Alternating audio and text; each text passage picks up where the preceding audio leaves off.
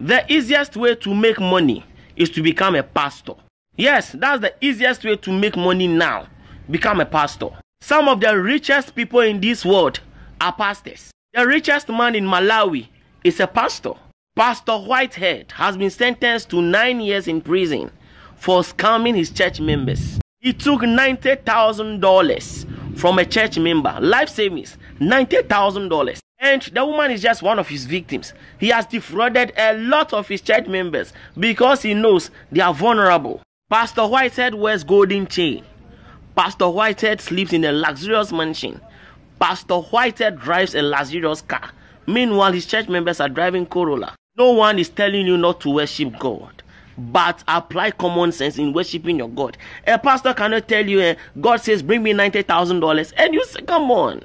In fact, a pastor in Ghana was telling his church members that they should not bring below 10 cedis, that God does not like 10 cedis, as if they will send the money to God. Yes, the easiest way to make money now is to become a pastor. Very, very simple. To note, 80% of pastors now are not genuine. They are not.